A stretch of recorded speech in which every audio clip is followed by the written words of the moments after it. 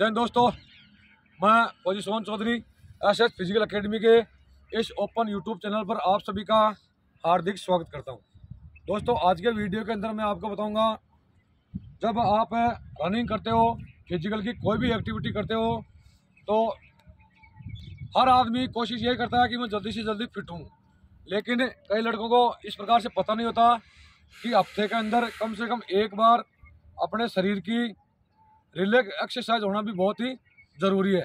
अगर आप रिलैक्स वाली एक्सरसाइज नहीं करोगे तो आपके कहीं पैर में चोट आ जाएगी, कहीं शिनपिन का दर्द हो जाएगा, कहीं थाई बढ़ जाएगी, कहीं आप ज़्यादा पुशअप्स वगैरह लगाओगे तो आपकी मसल टाइट हो जाएगी, जाम हो जाएगी और आपका शरीर धीरे धीरे अकड़ना शुरू हो जाएगा, बेचैनी आनी शुरू हो जाएगी।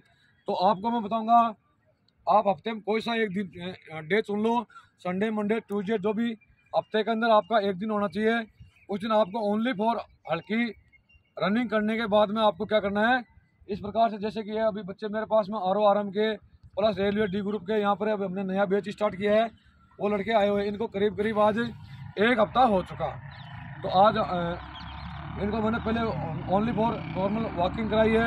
उसके बाद हल्की रनिंग कराने के बाद में अभी जिनका पूरा पसीना, इनका तो करीब करीब ठंडा हो चुका। लेकिन अभी मैं आपको बताऊँगा जब आप हफ़्ते में एक एक हफ़्ते में एक दिन आपको चुनना है और उस दिन आप अपने बड्डी से या आप अगले खुद ही हो तो आप खुद भी ये कार्रवाई आप घर पे भी कर सकते हो और पूरे शरीर का जितना भी आपका अकड़न है, जहाँ से कोई मसल टाइट हो रही है, उसको आप बिल्कुल रिलैक्स कर सकते हो। तो सबसे पहले आपको क्या करना है, थोड़ा सा शरीर को नॉर्मल वार्म अप करने के बाद में इस प्रकार से जैसे कि ये लड़का आप देख रहे हो, इसने मान लो अभी रनिंग कर ली।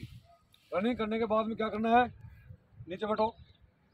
हाँ शाबाश, नीचे बैठ जाओ। पूरा नीचे बैठो। हाँ आराम से बैठ जाओ।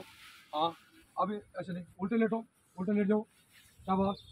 अभी आपको क्या करना है? नॉर्मल इस प्रकार से लेटने के बाद में क्या करना है? अपन दोनों पैरों को इस प्रकार से हिलाओ। शाबाश।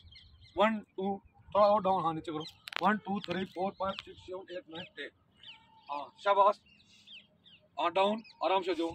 अभी क्या करना है? ऐसे तसल्ली से, अगर धूप है तो धूप के अंदर तसली से आप दो से तीन मिनट इस प्रकार से लेटो। बिल्कुल रिलैक्स हो जाओ। रिलैक्स होने के बाद क्या करना है, बड्डी से आपको क्या करना है, उल्टे लेटो। हाँ आप उल्टे लेट गए तो आपका बड्डी क्या करेगा, उल्टे लेट के गर्दन को बिल्कुल सीधी नहीं रखी है। जैसे कि आप लड़का देख रहे हो, इसमें आपको गर्दन को क्या करनी है, फ़र्स्ट क्लास एक साइड के अंदर कर लेनी है। उसके बाद में क्या करना है, अपने जूतों को, इस प्रकार अपने बड्डी से जूतों को आप उतरवा सकते हो। हाँ शाबाश। जूते उतारने के बाद में आपको क्या करना है? बड्डी से हड़के हड़के इस प्रकार से पैरों को पकड़ना है। यहाँ से पकड़ लिया, इतना यहाँ से भी नहीं पकड़ना, आपको सिर्फ़ ओनली इधर से पकड़ना है। जो लेट रहा उसका काम है बिल्कुल रिलैक्स हो जाना। यहाँ लेटने के बाद आपको धीरे धीरे क्या करना है? इनको हाँ बिल्कुल इस प्रकार से धीरे धीरे धीरे धीरे आप इसको हिलाना है। इस हिलाने से क्या होगा? जितना भी मांस है, चर्बी है, यहाँ होगी यहाँ होगी। ये दोनों क्या हो जाएगी? देखो जितना भी आप रनिंग करते हो रनिंग करने के बाद में यहाँ से क्या हो जाता है, कई लड़कों के यहाँ पे पिन का दर्द होना शुरू हो जाता है। किसी की पिंडी जाम हो जाती है। तो आप जितना इसको इसको ऐसे हिलाओगे ना धीरे धीरे हिलाने से ये क्या हो जाएगी धीरे धीरे रिलैक्स हो जाएगी।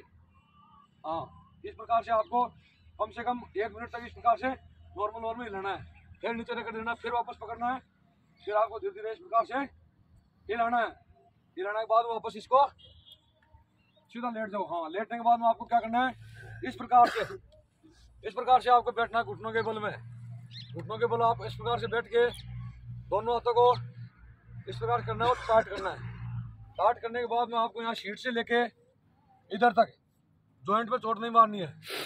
इसके ऊपर आपको क्या करना दोनों हाथों को इस प्रकार से टाइट करके हल्का हल्का किस प्रकार से देखो ये।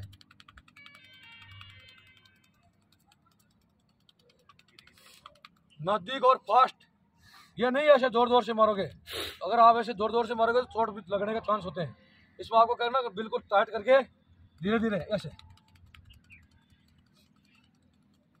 ये होगी। उसके बाद में सेम टू सेम इसको।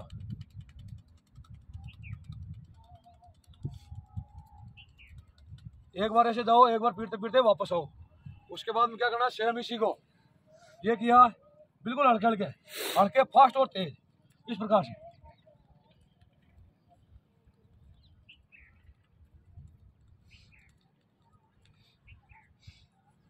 ये हो गई सेम टू सेम इसको। ये। इसमें ध्यान ये रखना है ज़ोर से चोट नहीं मारनी है नज़दीक और पास इस प्रकार से। ये कर दिया उसके बाद फिर क्या करना है? वापस पकड़ना इधर से। पकड़ के धीरे से ऐसे उठाओ। अगला बिल्कुल रिलैक्स हो बच्चे। हाँ छोड़ दे इसको, ढीला छोड़ दे। फिर दोबारा ऐसे लाना है। ये। ये लाने के बाद में क्या करना है? वापस छोड़ना है। छोड़ने के बाद में आपको क्या करना है? आपको आना इस प्रकार से। इस प्रकार से आगे। उसके बाद में देखो, इस प्रकार से आप घुटना डाल दो। ऊपर नहीं बैठना है। यहाँ आगे। अभी दोनों हाथों क्या करना है? इस प्रकार से करना है। कैमरामैन को बोलूँगा, थोड़ा इधर नज़दीक आकर तसली से दिखाएगा। हाथों तो क्या करना है? आपको इस प्रकार से कर लेना है। इस प्रकार से करने के बाद में आपको देखो, सबसे पहले क्या करना है? यहाँ पर कमर में ना, अभी देखना इसका कैसे आवाज़ आएगी। ये आप जब झटका मार दो, ऐसे नहीं मारना है। ऐसे मारोगे तो रीढ़ की हड्डी पर चोट लगने के चांस होते हैं। झटका यहाँ पर भी नहीं मारना है, इधर भी नहीं मारना है। आपको ओनली फॉर जो ये बैक साइड है, दोनों ये बाजू। इसका लगभग इस साइड में पकड़ना है। बीच में नहीं मारना रीढ़ की हड्डी पर। यहाँ पर दोनों को ऐसे मिलाओगे। ये किया। इसके बाद देखो नॉर्मल ला के ऐसे पुशअप करना है। ऐसे नहीं मारना, ऐसे। अभी देखना।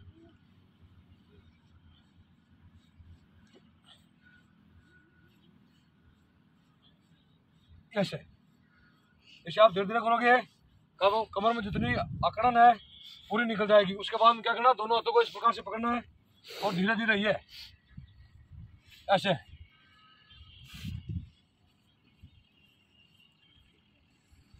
यहाँ से देखो इस प्रकार से।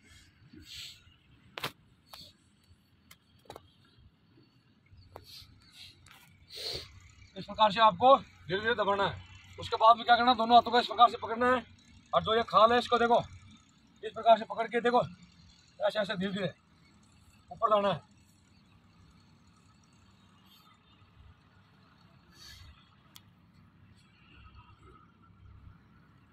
ये दबा दिया। दबाने के बाद क्या करना आपको? खड़ा हो जाना है। हाँ शाबाश, खड़ा हो। खड़ा हो गया? शाबाश। खड़ा होने के बाद में आपको क्या करना है? इस प्रकार से बड्डी को खड़ा करना है। खड़ा करने के बाद में आपको मैं फिर बताऊँ, दोनों हाथों को ऐसे लेना है या पकड़ना है। ऐसे नहीं ओनली फॉर इस टाइप से। इस इस टाइप से पकड़ के हाथों को आपको क्या करना है? ऐसे मिलाना है। ऐसे मिलाओ। हाँ इतना। शाबाश। इनको नीचे टच करो। ना? यहाँ ऐसे नहीं पकड़ना ओनली फॉर ये अभी टच कर लो। देखो ऐसे इस प्रकार से। अभी क्या करना है? बॉडी से ऐसे इस प्रकार से पकड़ना है। ये किया, इस प्रकार से पकड़ के, यहाँ पे सर लगा के, धीरे से एक हल्का झटका मारना है। इसमें क्या हो जाएगा? पूरा एक अकड़न जितनी भी है, एक साथ पूरे हार्ड, हार्डों की आवाज़ आएगी और पूरा शरीर एकदम यहाँ से पूरा खुल जाएगा। खुलने के बाद में आपको क्या करना है? ये करना है। हाथों को एकदम नॉर्मल कर ले। उसके बाद दोनों हाथों को क्या करना है? आपको इस प्रकार से पकड़ना है। धीरे धीरे इधर से देखो ये। ये आवाज़ देखो आपका धीरे धीरे आप देख सकते हो वीडियो के माध्यम से। यहाँ पर देखो, जितना भी आप जितना डंड मारोगे पुशअप मारोगे धीरे धीरे यहाँ से टाइट होता है आदमी का सबसे ज़्यादा ये। इसमें आपको क्या करना है? देखो, आप इधर से चालू कर दो। ये कर दिया। धीरे धीरे फिर पता जॉइंट में जॉइंट में कभी नहीं दबाना है। फिर इसको ये दबाओ ये दबाओ ये दबाओ ये दबाओ। इस प्रकार से। हाँ। चालू कर दियो। हाँ। आपको क्या करना है, इस प्रकार से दबाना है। दबाने के बाद वापस इसको सही किया पीछे मोड़। ये हो गया। अभी क्या करना है इसको? खड़े हाथ करना है इस प्रकार से, खड़े हाथ करो। अभी जिस जो मालिश करवा रहा है जो रिलैक्सिंग करवा रहा है, वो बिल्कुल एकदम रिलैक्स कर रहा रहेगा उसके बाद ना बड्डी का काम है इस प्रकार से हाथों को पकड़ना। ये और हल्का हल्का नॉर्मल ये करना है। ये। ये एक्सरसाइज करनी है आपको। इसमें।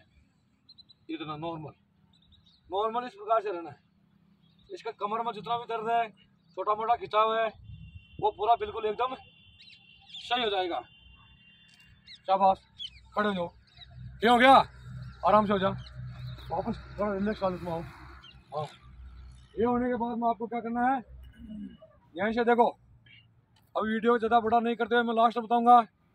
जितने भी जॉइंट होते हैं हर जॉइंट में अकड़न हो जाती है फिर उसका कटका भी बुलाना बहुत ज़रूरी है। इसमें आपको क्या करना है? इस प्रकार से देखो ये पकड़ा ये देखो। एक। हाँ शाबाश। इसमें क्या करना पूरा ऊपर लेके धीरे से नॉर्मल करना है, ज़्यादा नहीं मारना, नहीं तो चोट आ जाएगी। ये किया, ये। उसके बाद इधर से क्या करना है, ये पकड़ना है।